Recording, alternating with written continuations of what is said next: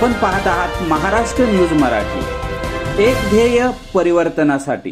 ताज्या बातम्या पाहण्यासाठी आमच्या चॅनलला सबस्क्राईब करा आणि बेल आयकॉनला प्रेस करा. राज्यासह संपूर्ण देशाचे लक्ष लागलेला मराठा आरक्षणावर सुप्रीम कोर्टाने बुधवार दिनांक पाच मे दोन हजार एकवीस रोजी निर्णय दिला. सुप्रीम कोर्टात मराठा आरक्षण रद्द केलं गेलं. राज्य सरकारने बनवलेला मराठा आरक्षण कायदा सुप्रीम कोर्टाने रद्द केला आहे. दरम्यान सुप्रीम कोर्टाच्या या आरक्षणाच्या निकालासंदर्भात अनेक राजकीय नेत्यांनी तज्ज्ञ मंडळींनी आपापली मते नोंदवली. संपूर्ण महाराष्ट्राचे लक्ष छत्रपती उदयनराजे भोसले यांच्या प्रतिक्रियेकडे लागून होते.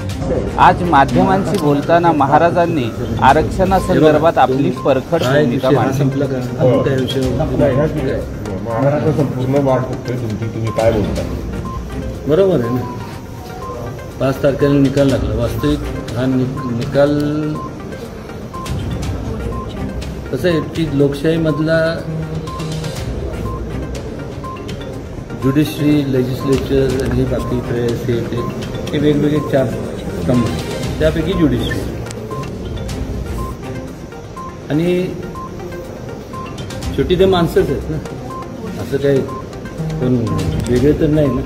ठीक आहे न्याय त्यांनी ते जज झाले. त्यांच्यावरती त्यांचा काय अवमान कोणाला करायचं नाही.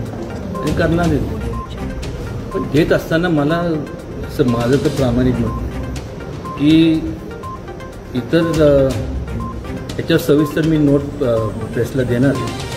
पण बाकीचे पहिल्यापासून माझं जे मत होतं की वाटेल त्या परिस्थितीत कुठल्याही वेगवेगळ्या ज्या समाज आहेत कुठलाही घटक असू दे वेगवेगळ्या जातीचं जातीचा असू तरी त्यांच्या ह्याला धोका न किंवा त्यांना तिथं डिस्टर्ब न करता मराठा समाजाला आरक्षण हे दिलं गेलं पाहिजे ज्या वेळेस ह्या बाकीच्या समाजांच्या लोकांना जेव्हा आरक्षण दिलं गेलं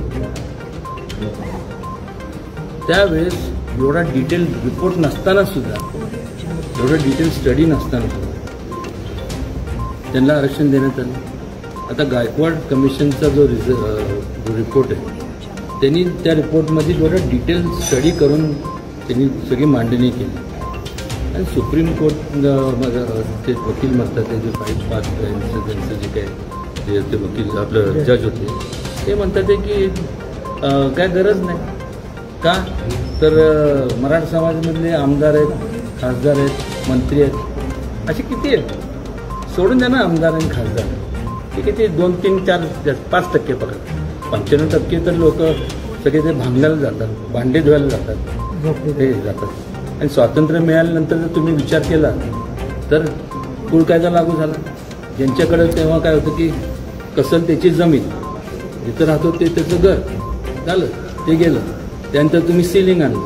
तिथं मराठ्यांच्या सगळ्या जमिनी गेल्या. आता ते घालत गेलं ते जाऊन दे. पण आता ज्या पद्धतीने तुम्ही ह्याच्यात सुद्धा जर आरक्षण जर ठेवणार असाल एज्युकेशनमध्ये तर करायचं काय? शासनाने काय शासन शासन करते काय? त्यांनी त्याचा खुलासा का करत नाही? अशोक चव्हाण आमचे मित्र म्हणतात की ते अजून त्यांचे पेपर्स आले पाहिजे आणि मग आम्ही त्याच्यावरती जर स्टडी करणं किती स्टडी करतो